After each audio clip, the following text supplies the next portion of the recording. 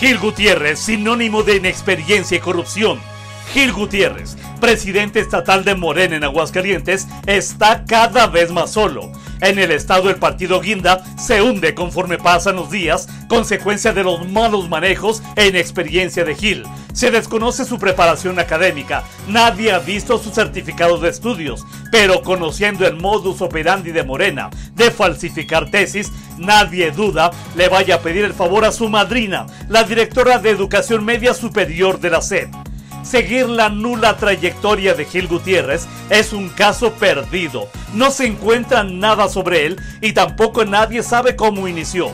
En Morena saben que solo está ahí por ser el novio de una hija de la ex candidata gobernadora Nora Rubalcaba, a la cual también la ubican por sus derrotas en campañas. Y si hablamos de derrotas, son las que persiguen al dirigente de Morena, quien en 2021 fue derrotado y humillado en las urnas por el maestro Pérez Chica. El único logro de Gil para llegar a ser el presidente de Morena es ser un lambiscón con los Rubalcaba Alférez, que solo tienen en común vivir de la política, la traición y la estafa. Los escándalos de corrupción han sido una presencia sistemática en la dirigencia de Gil Gutiérrez en Morena. Los militantes y los grupos internos lo rechazan, no lo quieren como su presidente. Su pobre actuación, su falta de carisma y el ser ajeno a los principios de la 4T y al presidente López Obrador lo marcan.